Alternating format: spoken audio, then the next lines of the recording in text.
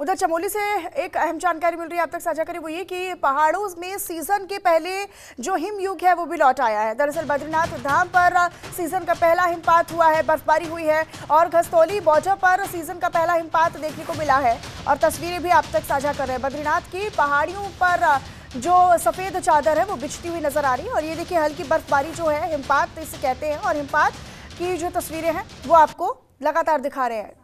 तो घस्तौली बॉर्डर पर सीज़न का पहला हिमपात हुआ है।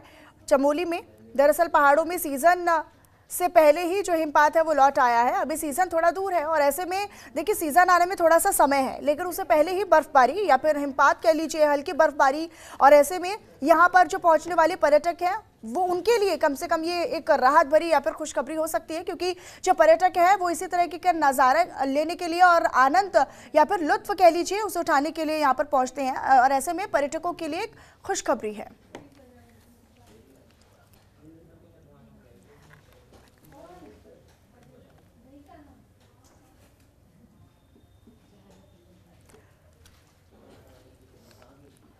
उधर शारदीय नवरात्र के अवसर पर विश्व प्रसिद्ध गंगोत्री धाम के कपाट बंद होने की तिथि और मुहूर्त तय किया गया है। दरअसल गंगोत्री धाम के कपाट शीतकाल के लिए 14 नवंबर को अन्नकूट के पावन पर्व पर अभिजीत मुहूर्त की शुभ बेला पर ग्यारह बजकर पैंतालीस मिनट पर बंद किए जाएँगे।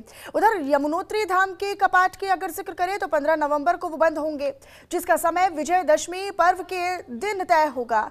आपको ये भी बताते चले कि हर साल शारदीय नवरात्र में गंगोत्री मंदिर समिति और तीर्थ पुरोहित धाम के कपाट बंद होने की तिथि और मुहूर्त निकाले, निकालते हैं और श्री पाँच गंगोत्री मंदिर समिति के सचिव सुरेश सेमवाल ने ये बताया है कि 14 नवंबर को कपाट बंद होने के बाद माँ गंगा की उत्सव डोली अपने मायके मुखी मठ मुखबा के लिए प्रस्थान करेगी और रात्रि निवास भैरव घाटी स्थित देवी मंदिर में होगा और इसके अगले दिन, यानी 15 नवंबर को, भाई दूज के पावन पर्व पर माँ गंगा की उत्सव डोली अपने माई के मुखबा, मुखी मठ में पहुंचेगी, जहाँ पर माँ गंगा का स्वागत एक बेटी की तरह गाँव के ग्रामीणों के द्वारा किया जाएगा।